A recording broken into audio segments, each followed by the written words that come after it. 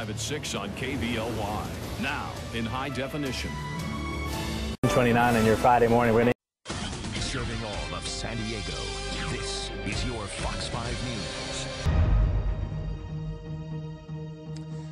Good evening. America came under attack today from international terrorists on a scale that made it more an act of war.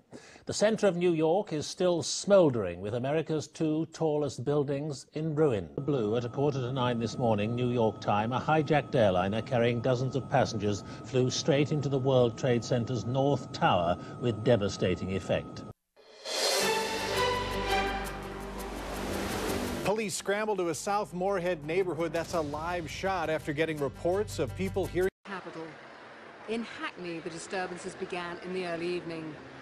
The police said they would have more officers on the streets of London tonight, and here they moved in in force. Suspect in connection with an alleged sexual assault at Davies High School Monday afternoon. And not your ordinary day out of West Fargo High School. What, or elementary school rather. News live at 6 on KVLY. Now, in high definition. Washington and the Pentagon, the nerve center of America's military. A third hijacked American airliner. Let us leave it there for a moment. Uh, Those pictures you're seeing uh, from Aldgate reiterate 18 minutes later, a second attack. Another hijacked jet struck the Trade Center's twin So we have at one end of the street the police blocking off entrances to Euston Station, putting thousands of people onto the street. South Tower, exploding in a huge fireball. Next, it was the turn of one. details still emerging of the accident in Paris at around So, what's caused this? Well, the initial estimate was power surge incidents. That came to us from uh, British Transport 29 on your Friday morning. We're going to interrupt programming. We've been telling you this morning there has been a shooting at a school in Newtown. This is the Sandy. Here's what we know at this point. The call came in at 9:40. Capital. In Hackney, the disturbances began in the early evening. The police said they would have more officers on the streets of London tonight, and here they moved in in force. Details still emerging of the accident in Paris at around News live at 6 on KVLY. Now, in high definition.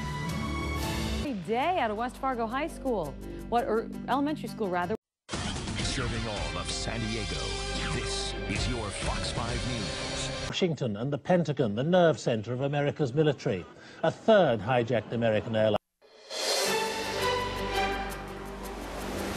Police scramble to a South Moorhead neighborhood. That's a live shot after getting reports of people hearing. those pictures you're seeing uh, from Aldgate reiterate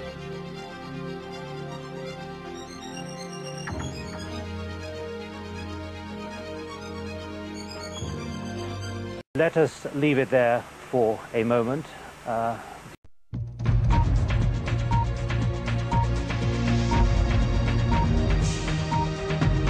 Twenty-nine on your Friday morning. We're going to interrupt programming. We've been telling you this morning there has been a shooting at a school in Newtown. This is the Sandy.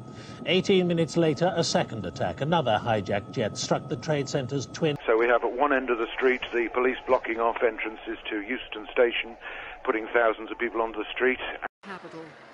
In Hackney, the disturbances began in the early evening. The police said they would have more officers on the streets of London tonight, and here they moved in in force.